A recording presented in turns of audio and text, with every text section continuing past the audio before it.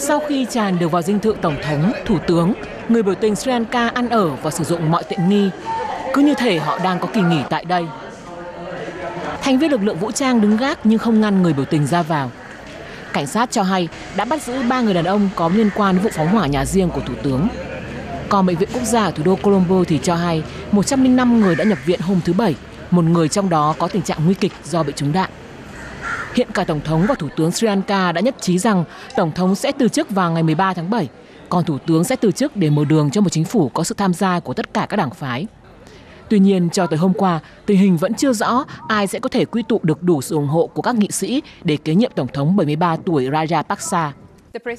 Tổng thống đã đồng ý từ chức, nhưng mấy ngày tới cực kỳ bất chắc về chính trị. Liệu Tổng thống Thủ tướng có thực sự sẽ từ chức không?